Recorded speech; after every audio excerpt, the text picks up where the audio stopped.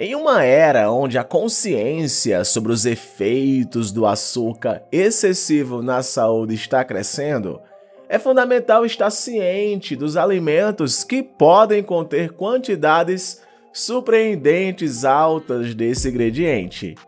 Enquanto muitos de nós estamos cientes dos doces, óbvios e refrigerantes açucarados, há uma série de alimentos aparentemente inofensivos que podem conter níveis alarmantes de açúcar, contribuindo para uma dieta desequilibrada e potencialmente prejudicial à sua saúde.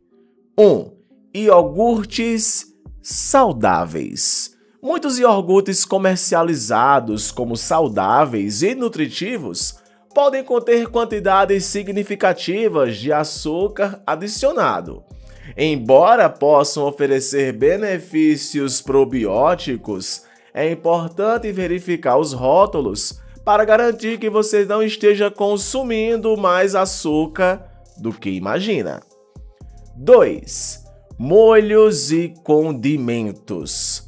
Molhos para saladas, molhos para massas e condimentos como ketchup e molho barbecue podem ser fontes ocultas de açúcar. Mesmo uma pequena porção desses condimentos pode adicionar uma quantidade surpreendente de açúcar à sua refeição. 3. Cereais matinais. Muitos cereais comercializados como saudáveis podem conter quantidades chocantes de açúcar. Mesmo aqueles que são rotulados como integrais ou com baixo teor de gordura podem ser carregados com açúcar para melhorar o sabor. 4. Bebidas energéticas e esportivas. Enquanto são comercializadas como fonte de energia rápida e reidratação, muitas bebidas energéticas e esportivas contém altos níveis de açúcar adicionado.